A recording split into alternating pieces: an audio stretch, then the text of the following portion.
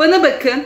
Bir daha da yorumlara gelip kızıma çakma Rapunzel derseniz, çingene Rapunzel ve annesi derseniz gerçekten bu defa külahları değişeceğiz.